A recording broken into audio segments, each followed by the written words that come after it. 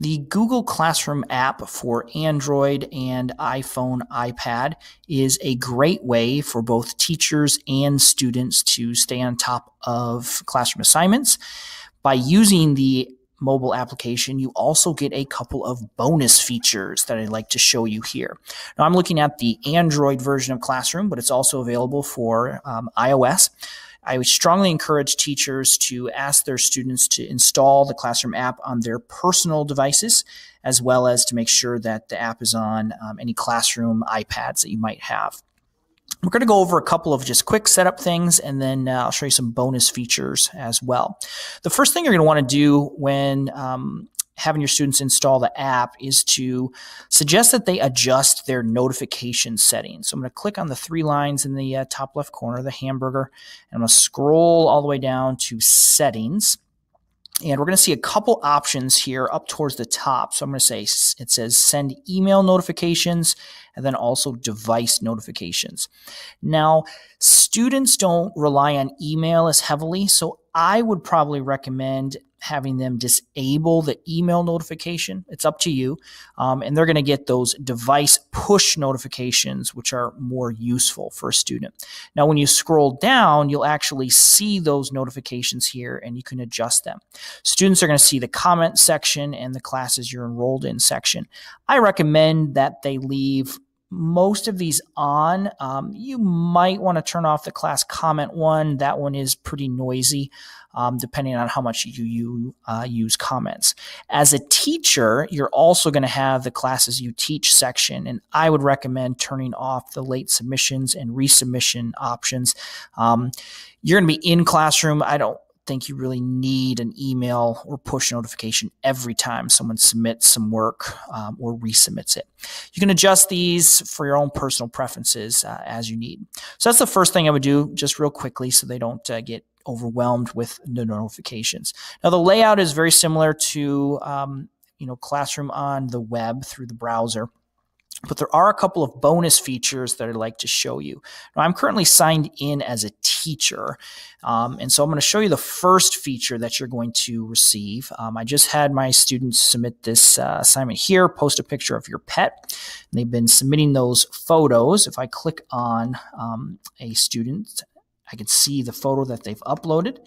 And the bonus feature that I'm going to receive is the ability to annotate on top of this assignment.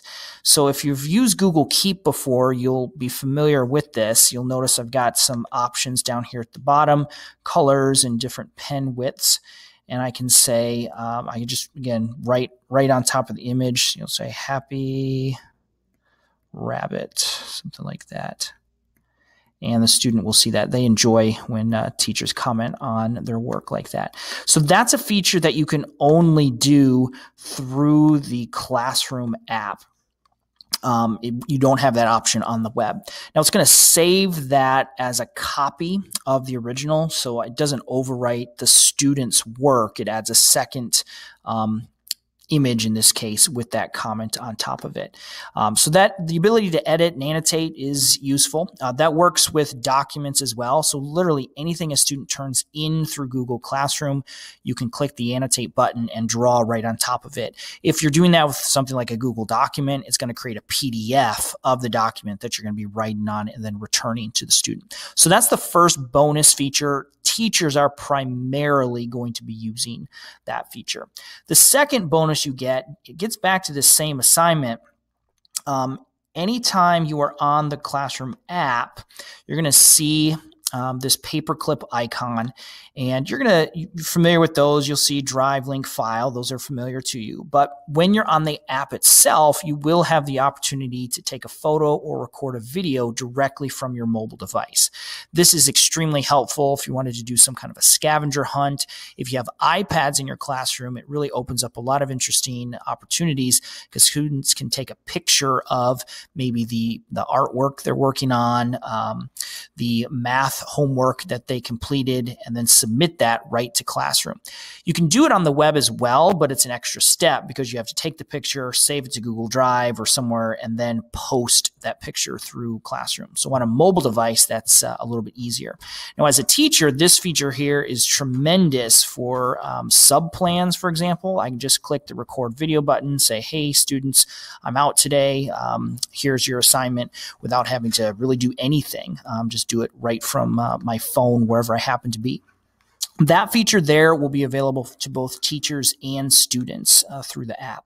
Now, the third and final thing I want to show you um, just helps students um, manage and organize their assignments a little more effectively. Um, I switched uh, accounts. Um, I'm going to click the hamburger again. Now, I'm actually a student in a couple classes here, and so students are going to um, have this option here on their phone. It's called To Do, and it allows them to see at a glance all of the upcoming assignments that they need to complete. Now, this feature is also available on the web, um, but again, if a student's on the bus riding home, they can quickly jump into the to do section and see uh, what homework they have for that evening. Very easy way for students to keep track of their assignments. That's a quick overview of some of the features of the Google Classroom mobile app. I'd encourage both you and your students to take advantage of it.